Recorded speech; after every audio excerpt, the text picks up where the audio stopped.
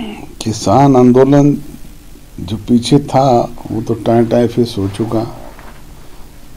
सरकार अपनी तरफ़ से सारी मांगे उनकी मान चुकी है। और, हरियाणा पहला ऐसा प्रदेश है जहाँ पे चौदह फ़सलें एमएसपी प्राइस पे बिक रही है। तो हमारे यहाँ तो मुद्दा ही नहीं है किसान आंदोलन का।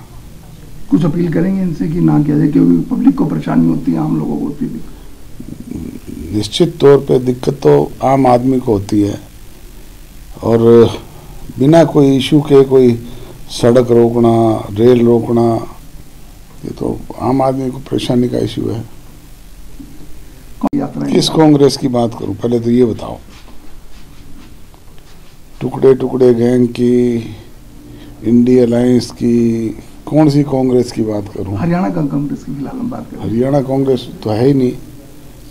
दस साल में जिन लोगों ने तीन तीन प्रधान बदल दिए पाँच पाँच पर भारी बदल दिए अब तक अपना संगठन तक खड़ा नहीं कर पाए उस कांग्रेस की बात करूँ?